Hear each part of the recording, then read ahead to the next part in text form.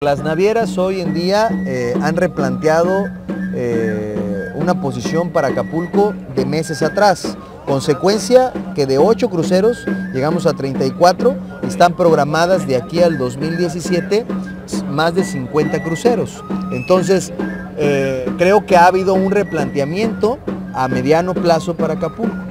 Estamos analizando que este camino que hemos labrado muy bien de confianza no se pierda, por eso fuimos a Miami y hoy se ha vuelto a reposicionar este caminar junto con las navieras.